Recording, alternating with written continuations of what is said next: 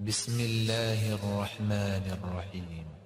والنجم إذا هوى ما ضل صاحبكم وما غوى. بسم الله الرحمن الرحيم.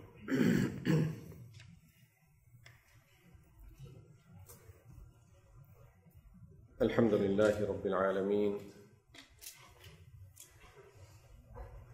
والصلاة والسلام على أشرف الأنبياء والمرسلين.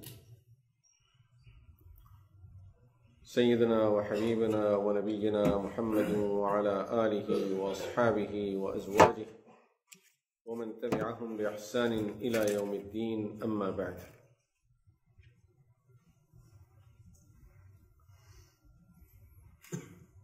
Going back to our original topic, as we were discussing different avenues of looking into the greatness of Rasulullah sallallahu alaihi wasallam,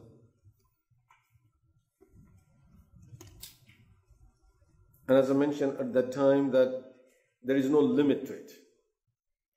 It's only to refresh our iman, to strengthen our iman, to have better knowledge about our about our belief, about our iman in Allah and His Messenger sallallahu alaihi wasallam, we can just touch bases on some of these avenues. And one of the very, very amazing things that we find in the life of Rasulullah sallallahu alaihi wasallam that we can say speaks for itself. No one has to say anything about it. All you have to do is if you put yourself in that time period of Rasulullah sallallahu alaihi wasallam and you sit at the back corner of the masjid and just watch what is happening which of course we have authentic ahadith book of seerah in undeniable way established facts that we see Rasulullah sallallahu alaihi wasallam through those ahadith and if a person, any person, would just come from any of the academic way of proving something, there is no room for him and reason for that person to be able to disprove or disagree with this or not to believe in these things. And that is when we said, of course, every hadith of Rasulullah sallallahu alaihi wasallam, I'm talking about authentic hadith, are proven in that way. But now this avenue that we are talking about is, as I said, it's undeniable. Something that no one can refute it. All you have to do is just sit and look at what is happening there. Rasulullah sallallahu alaihi wasallam. Let's start from the early stages of Makkah Mukarramah. And we have the leaders, especially the leaders of that community that are opposing Rasulullah sallallahu alaihi wasallam. And this is very normal. And Allah subhanahu wa ta'ala again and again reminds us of this fact قال الملأ الذين استكبروا قال الملأ الذين كفروا with every prophet الملأ الملأ the leaders that were there before the, this prophet will start preaching the deen of Allah subhanahu wa ta'ala they see their seats are shaking up that if this man if this man will become successful we are going to lose our seats so in order to make sure that we keep our seats, our positions, we have to oppose this man.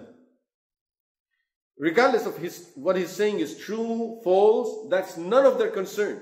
Their main concern is we can let him to succeed in his mission. Otherwise, we are going to lose our position. And of course, just think about all of those nations of the past. Qawm Thamud, Qawm Ad, and the people of Nuh alayhi salatu wasalam, uh, Fir'aun. How long did it take for Fir'aun to establish that position where he could claim to be God? It doesn't come overnight. He had worked very hard in getting that position. Now Musa salam comes and as soon as Fir'aun looks at the message of Musa salam being so powerful and so convincing, his seat is shaking up. So he has to disprove Musa alayhi salam and keep people away from Musa alayhi wasalam. So same thing happened with all the Anbiya alayhi wassalam. Even after coming to Medina Munawwara, Prophet ﷺ, the main challenge he was facing was the same thing.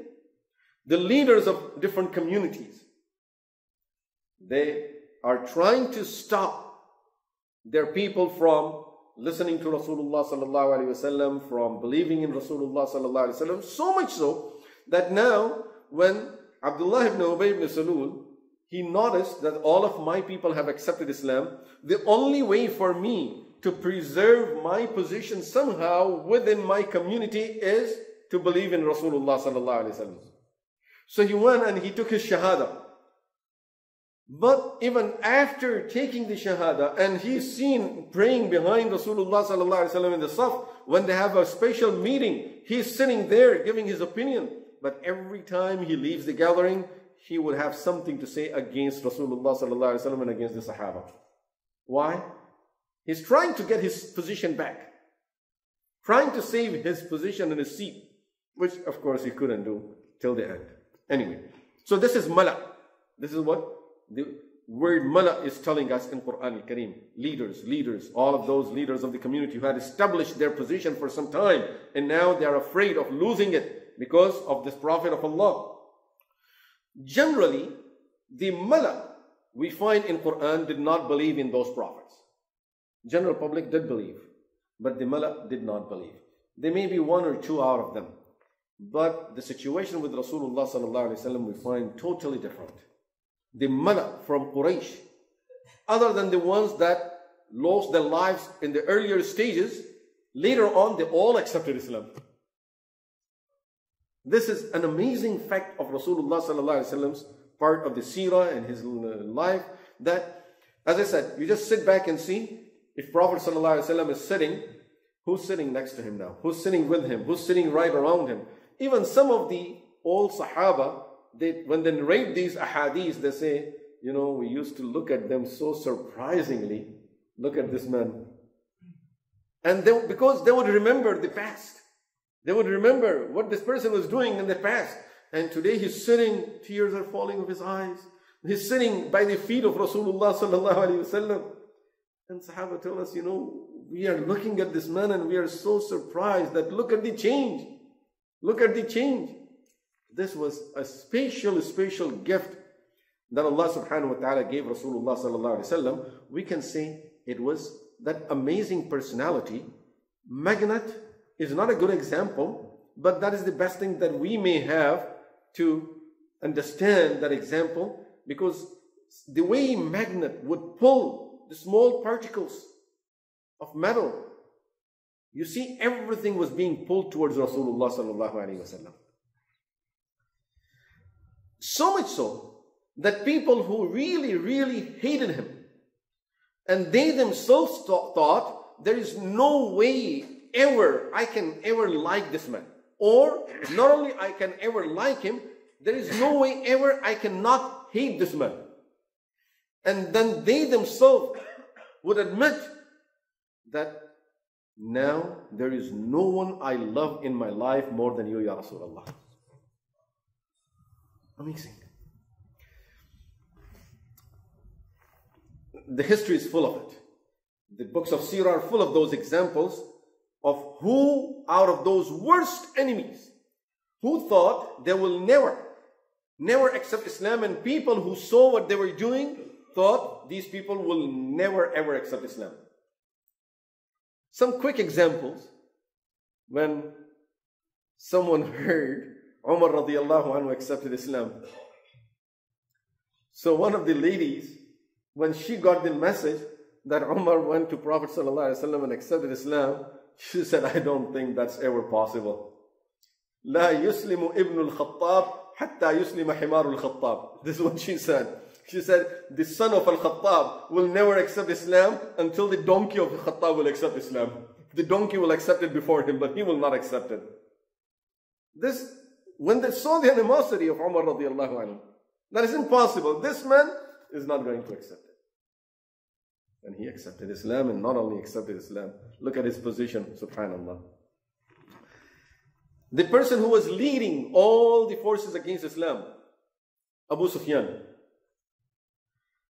when Rasulullah sallallahu was entering Makkah Mukarramah and he took his shahada, he went back to Makkah and he started calling that, oh people, we need to surrender.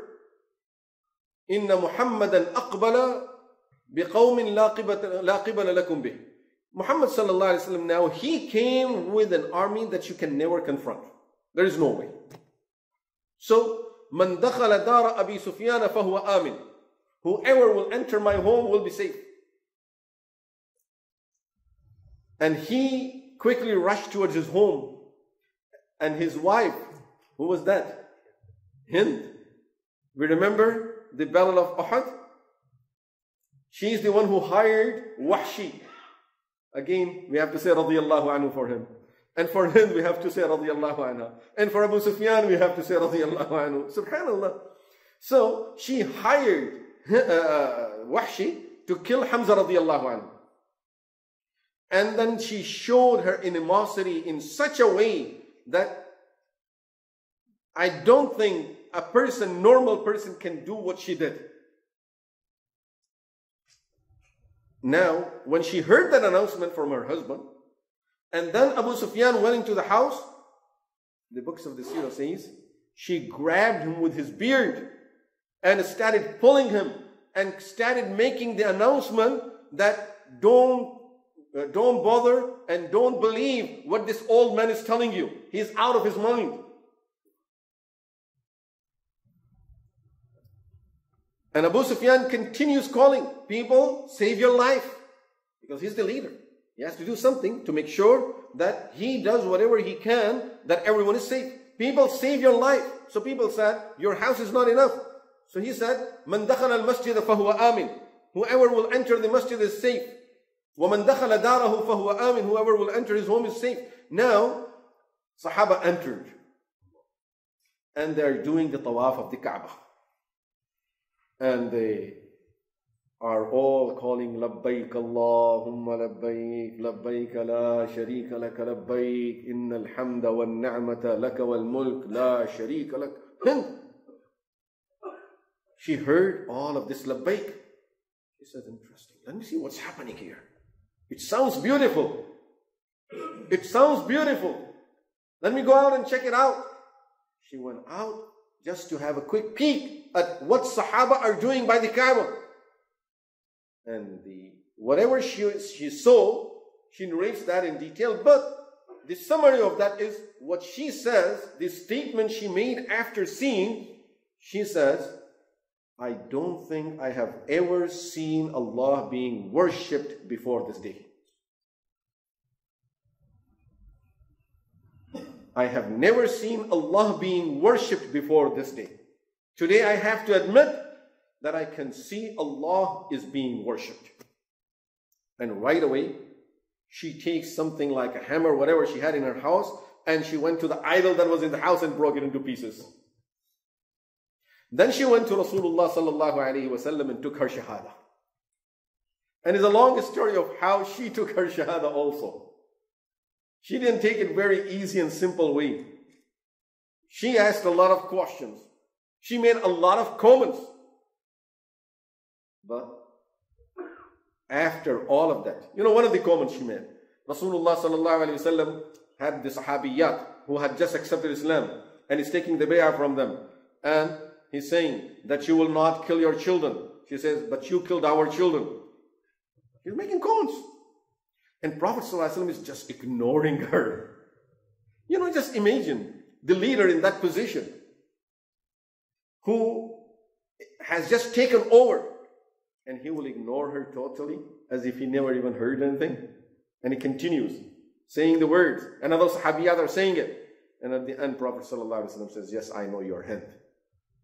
Because the way she was dressed, she tried to dress in a way that he will not recognize her. Recognize her. She said, she said, Yes, I'm Hind. and now, Ya Rasulullah, I can tell you this much. There was no house, no family in the world that I would wish for it to be more humiliated than your family and yourself. And now, at this moment, she just took her shahada. At this moment, there is no one I wish to be honored in the world more than you and your family, Ya Rasulullah. change. Look at the change. It's not easy. It's easy to see these things, to read them, but to bring that change in those people's life.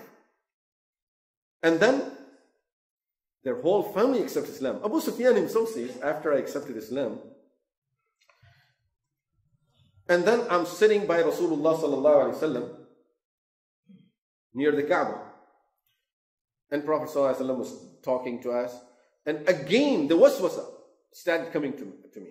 And this happens to any person. Any person can have the whispers of shayateen. We know what happens when we're in salah. We know shayateen are chained and still we are what we are thinking about. So it's not from him, it's from ourselves.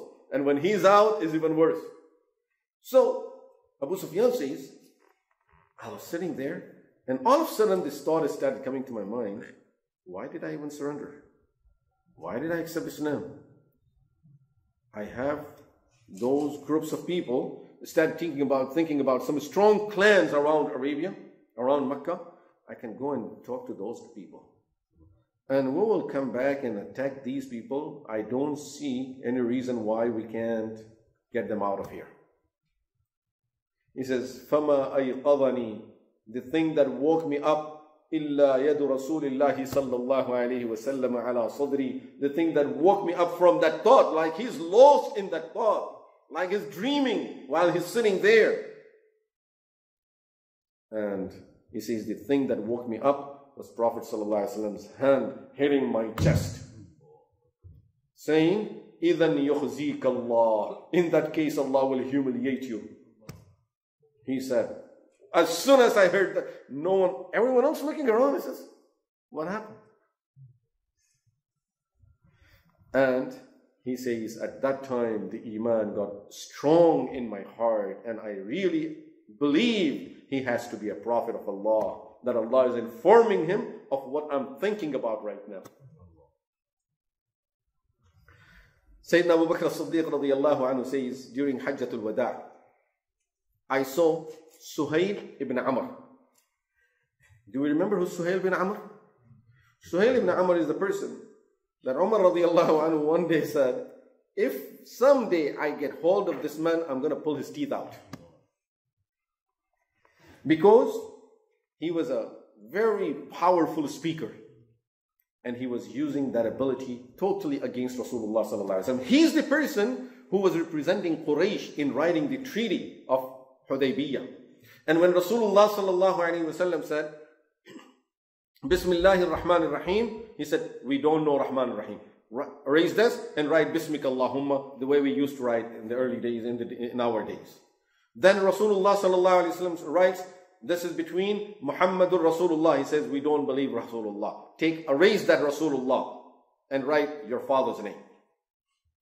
This is the person. Very, very strict the way he dealt with Rasulullah. I don't know if we remember the story of Abu Jandal who came as the uh, agreement was being made. And Rasulullah sallallahu begged Suhail ibn Amr, please let him come. We haven't signed, we haven't signed the agreement yet, so he has the right to come. He said, I won't sign the agreement then. Okay, I beg you, for my sake, just let him be here. He said, no. So strict the way he was dealing with Rasulullah and he continued giving his talks against Islam and against Rasulullah and finally Allah subhanahu wa ta'ala opened his heart for Islam. So anyway, Abu Bakr as-Siddiq radiallahu anhu says, on the day of Hajjatul Wada' in Mina, I was looking at Suhail ibn Amr. And I was just shocked. I was shocked. The way Allah changed his heart that I remember the day of Sulh al-Hudaybiyah and how he was treating Rasulullah sallallahu alaihi wasallam. And today he says, I saw him when Prophet sallallahu alaihi wasallam was giving the khutbah. He was sitting and crying.